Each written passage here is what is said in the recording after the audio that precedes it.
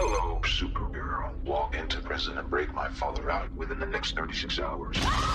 Or your sister will die. Where's my sister?